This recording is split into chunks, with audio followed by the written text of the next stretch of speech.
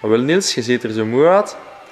Hallo, het is momenteel half twee 's nachts. Voor ik van Jeroen naar huis mocht, moest ik nog eerst diagnose stellen van deze BMW X3.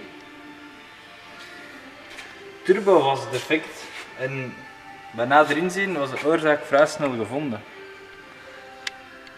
Dit is de bout die de olie aanvoert naar de turbo.